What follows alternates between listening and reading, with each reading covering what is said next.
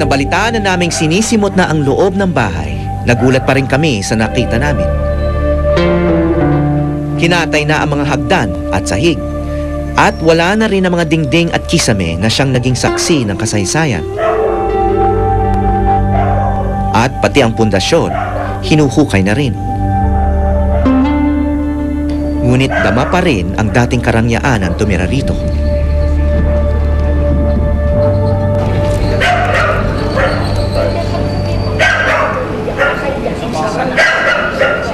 Ito pa yung mga original na tisa eh, na galing sa bubong. Napakaganda raw ng gawa nito. Napakatibay. Kaya hindi karaniwan tong tisa na nilagay nila sa bubong. Kaya ngayon, isa-isa nilang tinatanggal. At ito sigurong ililipat dun sa bago niyang pwesto. Hi! Nice to see you again, Mayor. Oh, same to you. ayaw ng mga na malaman, makakonect sila doon na si Chagora Alonso, ang nanay ni Rizal, ay ano ng Alberto parang Bastarda.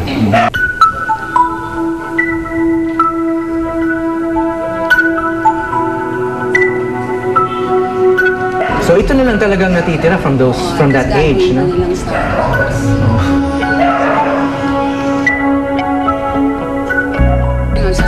sige, ang ituro natin ang NHI kasi mas Hmm. mataas yan sa atin. Pagdating sa NHI, hindi daw registered. Ito bilang landmark. Yeah, Ibig may sabihin, right walang daw connection si Rizal dito. Oo, Wala. Wala daw. Sa unti-unting pagkaubos ng bahay, nauubos na rin ang pag-asa ni na Dr. Santa Maria na isalba ito.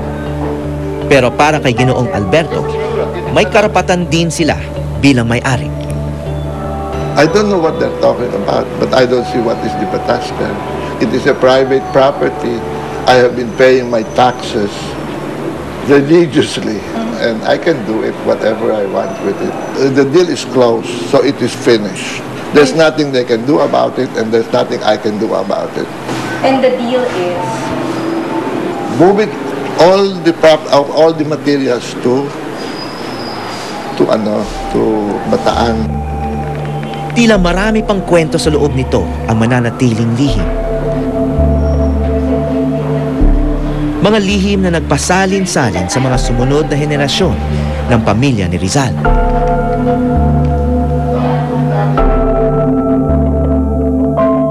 Handa naman itong ibahagi sa amin ni Barbara Cruz Gonzalez, Jose Alberto na chismis na nag na merong affair kay Saturnina na anak ni Doña Teodora.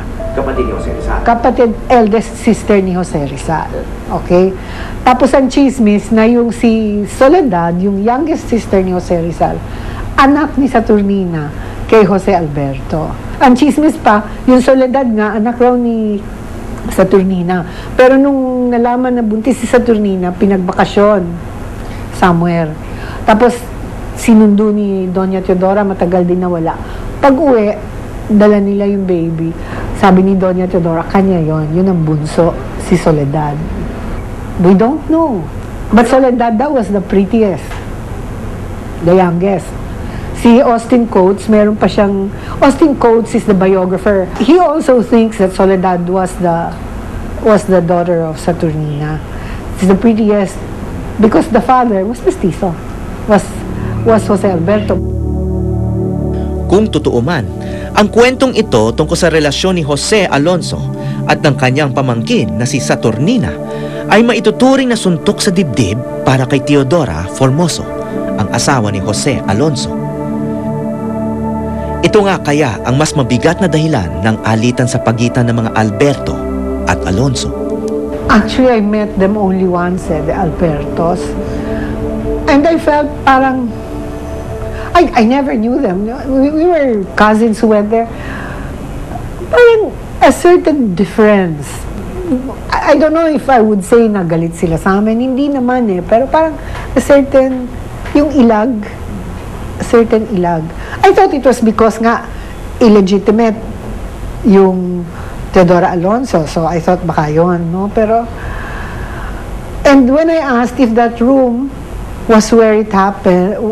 Sabi ko lang, ito ba yung kwarto kung saan nagsilbi ng ng merienda si Teodora kay sa asawa ni Jose Alberto? Walang sumagot. What will the truth accomplish in this case? Kung ilalabas yung mga ikinahihiya ng mga ibang What's wrong? Just tell the truth. The truth is the best thing. It will show Filipinos that anybody can be a hero. It doesn't have to be somebody with a beautiful family where everything works so well. Everybody gets married and stays happily married. No. Anybody can be a national. Anybody can be a hero, actually. Anybody.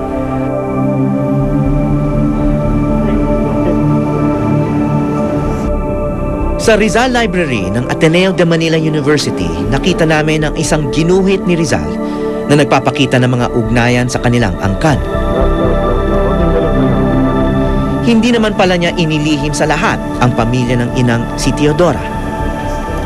Ayon dito, iisa ang ama't ina ni na Teodora at Jose Alonso.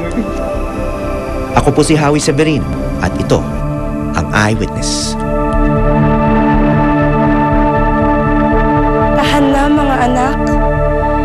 Aawit ako ng uyayi. Ngayong alam kong umiiral ang mga bagong puso't kaluluwang ipinaglaban at pinagbuwisan ng buhay ng aking mga anak na bunso. Kamatayan! Pinatutula mo ang aking anak. Buhay, pinatutula mo ako ngayong gabi.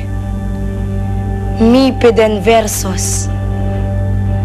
Mga anak, hali kayo. Nais ko kayong hagkan ang aking liwanag.